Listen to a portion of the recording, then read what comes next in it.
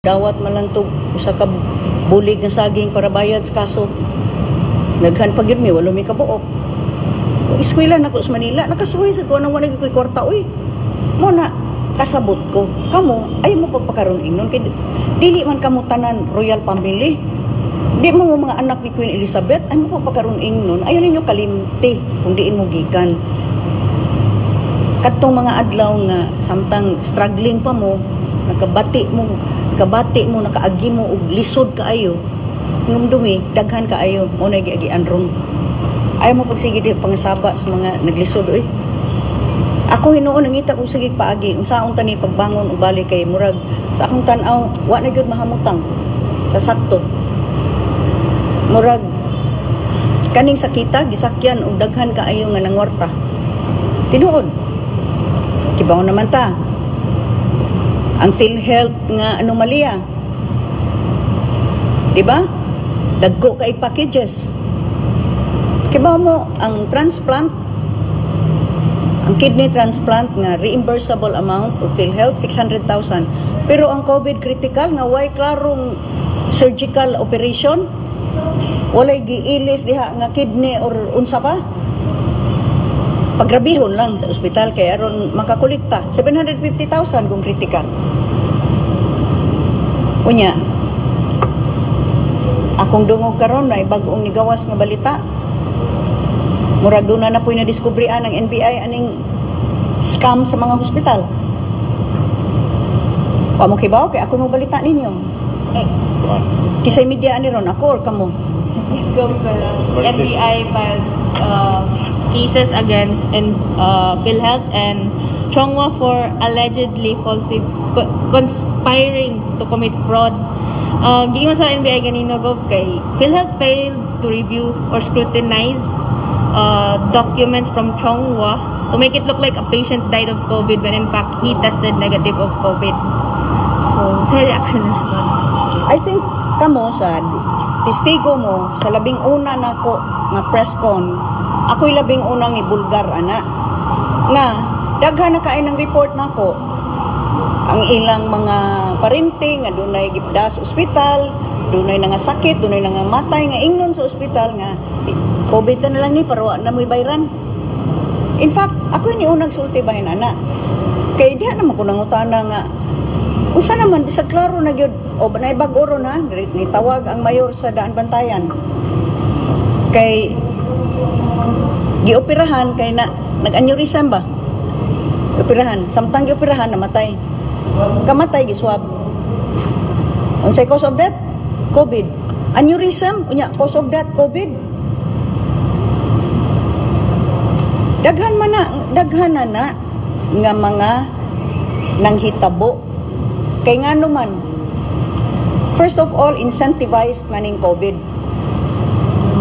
Advance good ni, nga ihatag sa mga ospital ang kwarta. Usually, ang PhilHealth reimbursable na.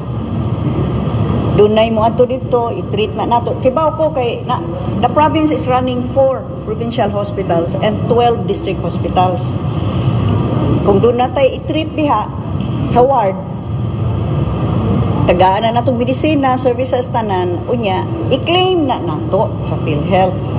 Reimbursable amount. Pero lahi ning COVID, advance. Gi-download na na sa mga ospital, dagko kay amounts, millions, hundreds of millions. Ila nang i-liquidate aron makadawat na pod sa sunod na pod nga tranche. Mao nang paspasay ang pag-claim sa COVID. Tanawa ra gud si Ian Presnido, ako maning konsultant dire. Nihilangtan tanan. Giswab. Bisan og negative. Gis COVID suspect. Suspect. Whether the suspicions were confirmed or not does not matter. COVID suspect kay na swab man. So, liquidation na, i-liquidate na to sa napundong amount, 160,000. Ano to minus? Ako na ibalik ha, ako igagaw. Di lang Garcia ang apelido. Di hapod. Na check-in sa Chongwa, kay isip on giubo. Pag swab kaduha, negative. Hala, gi-x-ray, kalima. Wa gyud tong mga giingon nga ni glase na ang lungs tanan. Clear ang lungs. In spite of that, gipainom og remdesivir.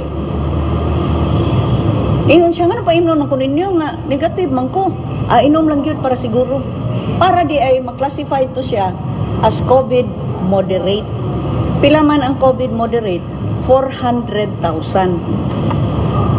Swerte lang to kung igagaw kay nigawas mo siya. Di pares akong duha ka igsuon nga di unta kayo grabing symptoms, di klaro gyud nga mag COVID critical kay 750,000 man ang ilang maliquidate. So kaniron that is only one. That's only the tip of the iceberg. More investigation will uncover will uncover a Pandora's box. Mga booking ni mga ospital. It doesn't matter to them anymore nga masalbar ang pasyente. Unsa importante nila nga they will really make a killing literally and figuratively speaking. Aning COVID. Nabitaw, na may biling up to now, papirmahan unta sa asawa ni Marlon. 750,000 nga aron itangtang sa 5.2 million nga billing sa Chongwa Hospital sa ako igsuon si Marlon. In town. 5.2 million unya patay pagyapon. Pero aron kuno makuha-kuhaan ang 5.2 million, papirmahon siya og liquidation nga 750,000 COVID critical. Among gitag sa tagsa. Naunsa na ba? Nahibuong naman lang ni, tulo raman unta to ka doktor ang ni-attend. Mora magito sila, o magaytong pag kausar magayto ni atubang na mo. Kanang duharon amo magali nang gikiha. Pero tulo ra na sila. Uy, pagtan-aw na nako aning liquidation sa 750,000, this is size naman ka doktor. Nga mo kolekta og tag 4,900 nga PF. Gawa sa usa nga nailain 22,000 iyang ikolekta. Pero ang uban 4,900 kapin, almost 5,000. Ang 16 ka buok nga wag ko kaila. Ug wag na ikit is asawa nga ni duaw man lang. Now that again is another modus. Can you imagine pila man ni kabuok COVID critical? Og ikaw, doktor, maapilang ka sa sa gatos ka claim nga COVID critical nya na kay 5,000 kada usa. Pila na imong kita?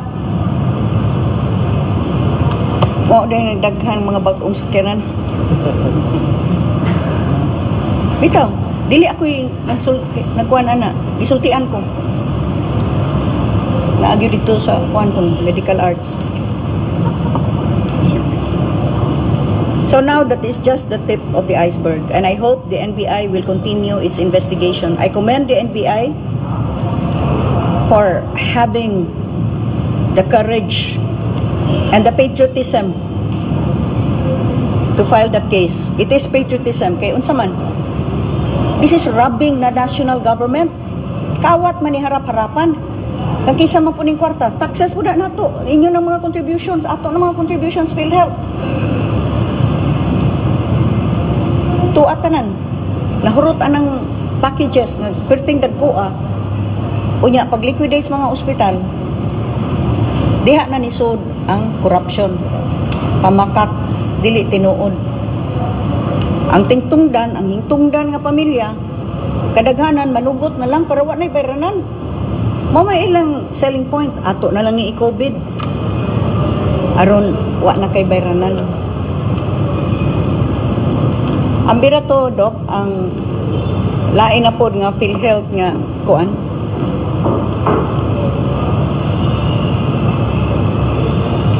Hamas, doktora? I'll take this up later, kay pagkuhaon pa to. But I'll tell you about another PhilHealth, uh, what do I call that? PhilHealth COVID-19 bright idea which can only mean more hemorrhage for PhilHealth. Ang bitong tagay ko kopya itong memorandum itong isolation centers na PhilHealth accredited. Ano, bayad sila.